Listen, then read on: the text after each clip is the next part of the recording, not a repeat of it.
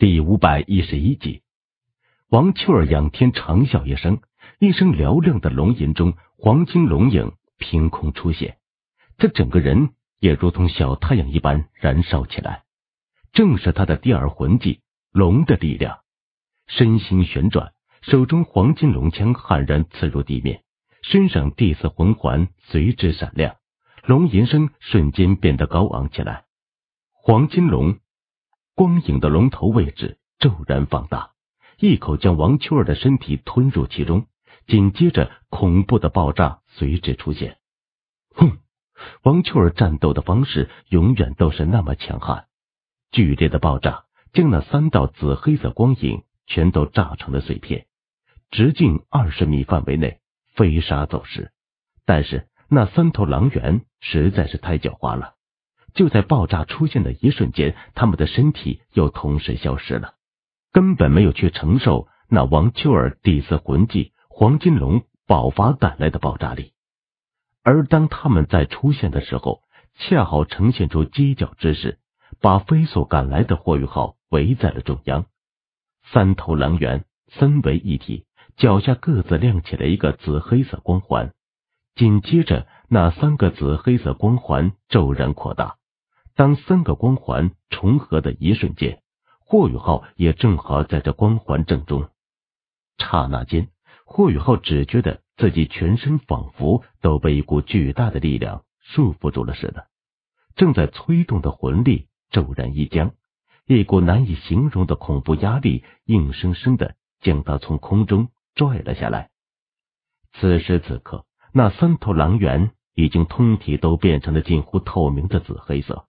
强悍的紫黑色光雾疯狂升腾，地面上相交的三个紫黑色圆环光芒大放，完完全全的将霍雨浩固定其中。不好，这这难道是传说中才出现过的三位一体三武魂融合技？在武魂融合技之中，大体分为两类。一类是多个魂师通过各自武魂相辅相成的特点施展出的技能，这种魂技虽然也可以称之为武魂融合技，但却属于魂师彼此配合的一种升华。而真正的武魂融合技，就是像霍雨浩和王冬儿、王秋儿那样，武魂在身体内部进行融合，从而产生出强大力量，进行质变的一种攻击。这种质变。一般只会出现在两个人身上。史莱克学院的资料曾经有三维一体武魂融合技的存在，那就是史莱克学院的创办者、第一任院长四眼猫鹰弗兰德与柳二龙和大师两位学院创始人一起用出的黄金铁三角黄金圣龙召唤。可可那并不是黄金龙，而是黄金圣龙，乃是光明属性。和王秋儿的纯粹力量是不同的，可以说就是蓝电霸王龙的升华。三人中的大师本身就是蓝电霸王龙家族的后裔，正是因为这个三维一体武魂融合技，令他们被称之为黄金铁三角。但是，除了他们这一代的三人之外，史莱克学院的历史上就再也没有出现过三维一体武魂融合技的存在。可想而知，这三方武魂融合技是何等困难的存在，需要何等艰难的契合度才能完成。此时此刻，这种传说中才有的超级能力，竟然在三头魂兽身上出现了，而且在他们战术的运用下，将这武魂融合技使用的恰到好处，居然令霍雨浩毫无准备的被困在其中。此时的霍雨浩。只觉得自己仿佛连呼吸都已经不能了似的，那强大的压迫力完全压制了他的精神力和魂力，就连命运之眼都被压制的无法开启。三维一体，那可是几何倍数的增幅啊！眼看着地面上深紫色光芒渐渐升起，霍雨浩只觉得自己的身体都要被融化了似的。吃惊的又何止是霍雨浩？王秋儿也同样如此，对这三头狼猿，他也一样是陌生的。突然发现霍雨浩遇险，他几乎是毫不犹豫的就投掷出了手中的黄金龙枪。刺耳的呼啸声中，黄金龙枪带着金龙光影，几乎是以撕裂空间的速度，骤然落在了一头狼猿身上。但是那头狼猿却只是瞥了王秋儿一眼，他那眼神之中竟然充满了不屑。是的，不屑。枪，黄金楼枪仿佛撞上了坚不可摧的壁垒一般，应声弹起，根本没有对那只狼猿造成任何伤害。而地面上的紫黑色光芒已是瞬间升腾了起来。不！王秋儿大叫一声，无与伦比的强烈金光骤然从他体内迸发而出，他的双眸一下就变成了血红色。第六魂环发动，金龙嗜血。此时的他已经闪亮的如同一颗小太阳一般，再没有人能看清他的身影。而霍雨浩身上一团橙金色的光芒。突然分离出来，正是小雪女。小雪女脸色肃然，身形一闪，就到了霍雨浩背后。她那娇小的身躯迅速变大，竟然还原成了雪地模样。一手指天，一手指地，橙金色的光彩瞬间扩张开来，将霍雨浩的身体笼罩在内。但是，雪女的力量本身就是属于霍雨浩的。他平时自身的力量都是从霍雨浩身上吸收而来，而更加庞大的力量还封印在霍雨浩身体之中啊！此时的他虽然已经是全力以赴了，但对于目前的霍雨浩来说，却依旧是杯水车薪。霍雨浩深吸口气，他知道这一次自己想要全身而退，恐怕是不可能了。但在这个时候，他却丝毫没有畏惧，在雪女的帮助下，暂时压制住了那升腾而起的紫黑色光芒。他自身也终于能够施展一些能力了。冰皇护体率先释放而出，此时雪地三绝因为雪女全力以赴抵挡那三位一体的武魂融合技的缘故，已经全部无法使用。霍雨浩命运之眼开启。原本就已经受创的灵魂本源疯狂的调动起来，恐怖的精神力开始和他自身魂力以惊人的速度高度结合起来，君临天下的气息逐渐升腾。他要凭借自己这一身修为，在雪帝的帮助下，蕴含着武魂融合技。他相信，只要自己能够活下来，施展了这么强大技能的三头狼猿王秋儿。一定不会放过他们。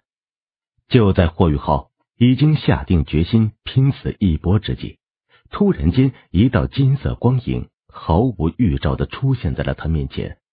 紧接着，那金色身影就已经投入到了他的怀抱之中，额头相抵，呼吸可闻，一股无比雄浑的力量瞬间覆盖在了他身体的每一个角落之上，灿烂的黄金色。化为一块块厚重而充满锋锐气息的鳞片翻卷而上，首先覆盖的就是霍雨浩的胸口与头部，紧接着那黄金鳞片迅速席卷到了他身上的每一个角落，难以形容的强大力量感传遍全身，先前恐怖的威压在这一刻竟然已经有些无法压抑住了他似的。此时的霍雨浩。全身都多了一层金色的甲胄，胸口处是一个巨大的黄金龙头图案，头盔封闭，连面部都护在其中，同样也是龙头模样。那全身的龙鳞将他的身体完美包覆，哪怕是一丝皮肤都没有露在外面。前所未有的强大感觉令霍雨浩长啸出声，雪女瞬间回归。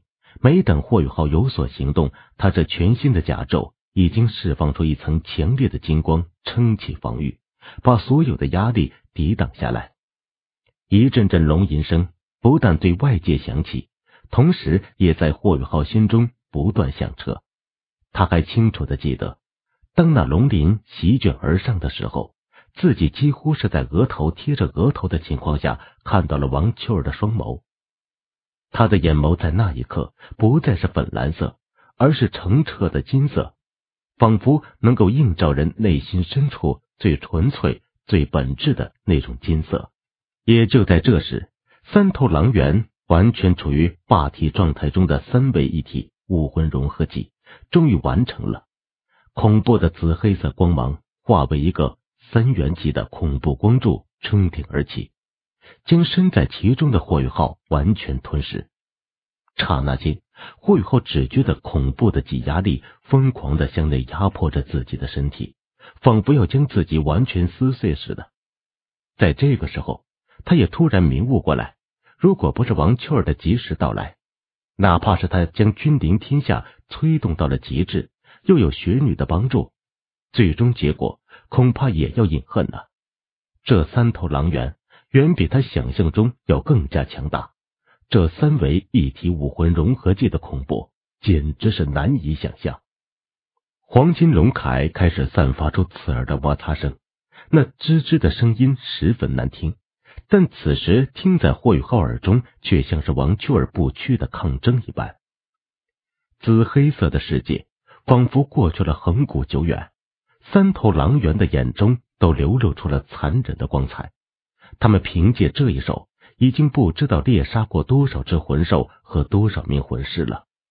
尽管他们各自只有万年修为，但这上天赋予他们的三维一体武魂融合技，却是他们最强的杀手锏。配上瞬间移动，简直就是无法破开的强大组合呀！三头狼猿身上的紫黑色渐渐散去，正如霍雨浩预料的那样，他们。在结束这个武魂融合技的时候，自身会陷入短暂的虚弱。原本他们还要小心提防王秋儿，准备魂技结束就先立刻跑开。但刚才王秋儿竟然不知道用了什么方法，也陷入了武魂融合技之中。魂兽毕竟是魂兽，他们再狡猾也不会出现等同于人类的智慧。在他们看来，无往不利的武魂融合技。必定能将这两个人类全部杀死，留下尸体供他们享用。虽然那很可能只是肉糜，但人类的尸体味道依旧要比魂兽美味的多。尤其是在魂力尚没有完全消退的前提下。就在三头狼猿略微有所放松的时候，突然间，一头狼猿的身体僵硬了一下，有些不解的低下头，看向自己坚实的胸肌。五柄暗金色的利刃正稳稳的插在那里，散发着暗金色幽光。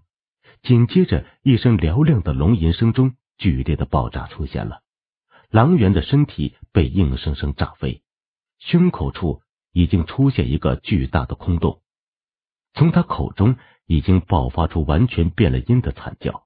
他怎么也想不到，就在自己准备享用猎物的时候。竟然会出现如此巨大的变化，另外两只狼猿这才发现不妙。但是，大地爆发出一声低沉的声音，一道灿金色的身影已经如同闪电一般来到了他们面前。龙吟声中，两道灿烂的紫金色光芒同时飙射而出，几乎是同时命中了他们的头部。两头狼猿刚要有所动作的身体顿时停顿下来。是的，这在三维一体武魂融合技即将结束瞬间骤然冲出的，赫然正是施展了武魂融合技命运之龙吟的霍雨浩和王秋儿。凭借着王秋儿所画的黄金龙铠，他们终究扛住了那三维一体武魂融合技的威能。此时此刻，霍雨浩身上原本灿烂的黄金龙铠看上去已是锈迹斑斑。还有不少地方已经出现了裂痕，在那裂痕中渗出的居然是金色液体。霍雨浩现在所能动用的不只是自己的能力，更有着属于黄金龙的强大力量啊！他的魂力更是直接升腾到了相当于七环的级别，恐怖的力量赋予了他恐怖的速度。脚尖在地面上一点，身形偏转之际。人就已经到了一头中了灵魂冲击的狼猿面前。这三头狼猿不知道算计了多少对手，却在今天终于失手了。处于虚弱状态中的他们，在没能恢复之前就被控制，这已经注定了他们悲剧的结局。